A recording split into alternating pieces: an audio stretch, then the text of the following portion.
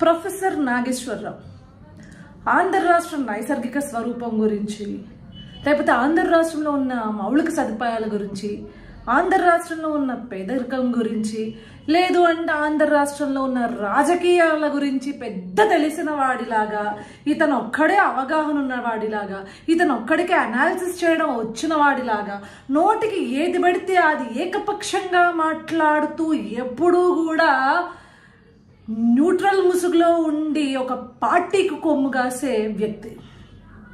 ఈ వ్యక్తిని ఎదురు తిరిగి నువ్వు చేస్తున్న విశ్లేషణ తప్పు. నీ విశ్లేషణ మొత్తంలో ఏకపక్షంగా ఉంది. ఒక పార్టీకి నువ్వు కొమ్ము కాస్తున్నట్లు ఉంది తప్పించి నీ విశ్లేషణలో సరైన నిజాలు లేవు అని చెప్పేసి గనక ఎవరైనా వేలెత్తి చూపిస్తే ఈరోజు వారిపైన కేసులు పెట్టే పరిస్థితి. నేను మాజీ ఎమ్మెల్సీని కదా అని చెప్పేసి ఆ ఒక్క అధికారాన్ని ఉపయోగించుకుని ఏ స్థాయిలో అయినా నన్ను ప్రశ్నిస్తే నన్ను విశ్లేషిస్తే నేను ఎవరినైనా విశ్లేషించవచ్చు కానీ నన్ను విశ్లేషిస్తే మాత్రం నేను కేసులు పెడతాను అని ఒక భావ దారిద్ర్యంతో బ్రతుకుతున్న వ్యక్తి ఎవరైనా ఉన్నారు అంటే అది కేవలం ప్రొఫెసర్ నాగేశ్వరరావు. ఏం తెలిసి ప్రొఫెసర్ నాగేశ్వరరావుకి?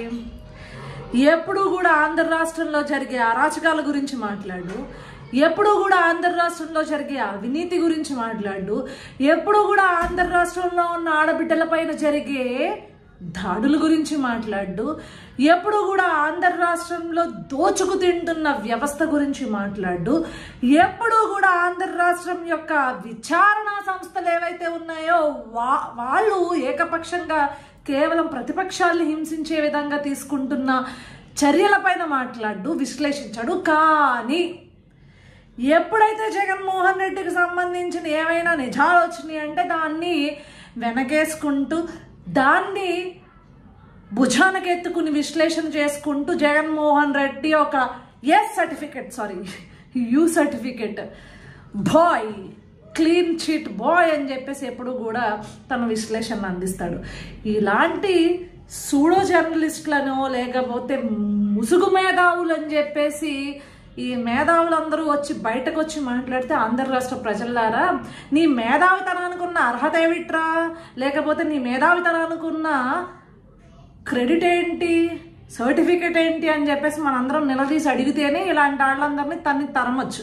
లేదు అంటే ఈ మేధావు ముసుగులో ఉండి ఏది పడితే అది నోటుకు వచ్చింది వాగేసి అదంతా విశ్లేషణ అని చెప్తే మాత్రం అసహ్యంగా ఉంటుంది